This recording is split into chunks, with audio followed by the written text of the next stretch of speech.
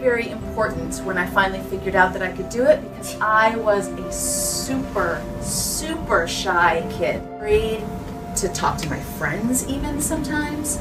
I was certainly afraid to talk to grown ups. I was afraid to talk to teachers.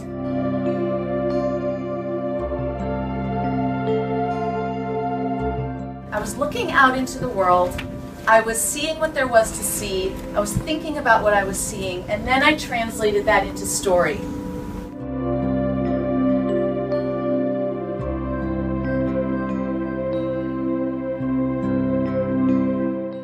And you maybe you have guts, which is what? Courage, strength. What else do you have inside of you?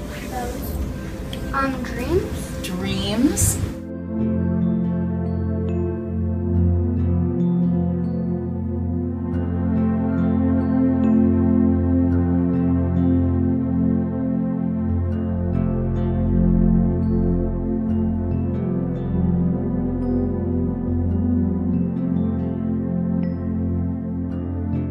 Terrible, terrible winds and storm and flooded. And the rest of us in the country watched and worried and wanted to help. What's your question? And he said, You know that pair of pants that we packed? And I said, Yeah. He said, What boy is going to get my pants? I don't know. And that was the end of that, right? I had no answer to that question, except that it wasn't the end of that because I couldn't stop thinking about that question. Who is going to get his pants? Because there was a real live boy, right? 1600 miles away who was going to open that bag and get those pair of pants. That's what I want to write about. What if I could know who this boy was? And so that's how the story started. For me, stories always start with an idea or a question.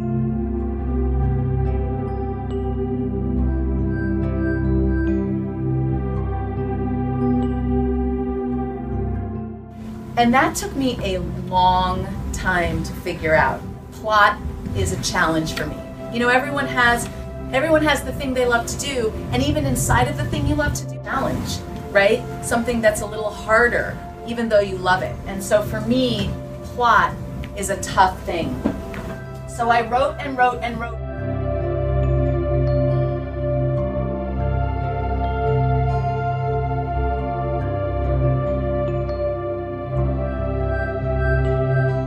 This is the first draft back here.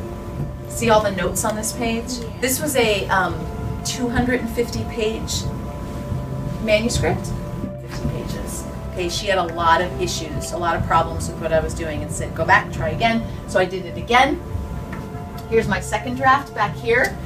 Closer, but I wasn't there yet. This is a third draft. As you can see where all those sticky notes are, I still have plot problems.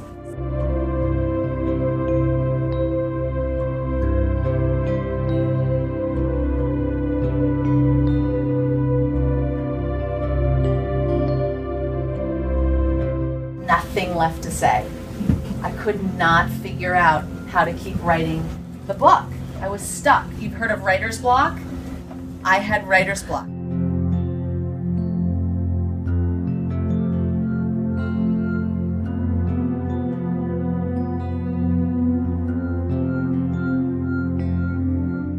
Courage to do something that's hard to do, knowing how to dig down deep inside of you to find motivation to do something? Yes. Keep on going even when you're not happy with the way it's turning out at the moment.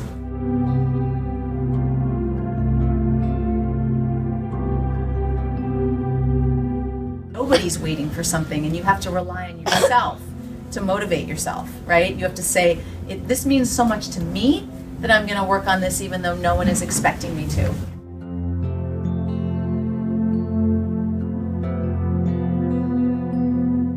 Curious, right? Wake up in the morning and say to yourself, maybe this is the day that I'm going to figure this hard thing out. All of a sudden, something happened in Richmond in 2011. You guys were little, but do you remember? I remember Irene. Yes. And it happened right to my house. So we had flooding in our basement and we lost all the things that were in our basement. Sensory details, things I could smell and see and hear that were happening to me that I had been trying to write about were happening to my characters. So I knew what it felt like to look outside your door and to think you're going to see a park and to see an ocean. Load of clothing that was covered in flood mud.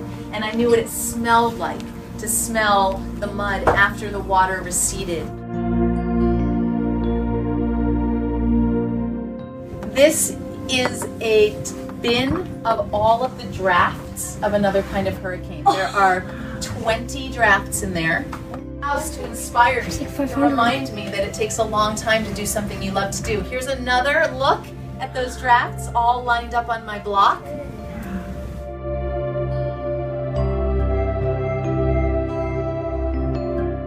Friends and community and people around them succeed better and faster and more often. You need people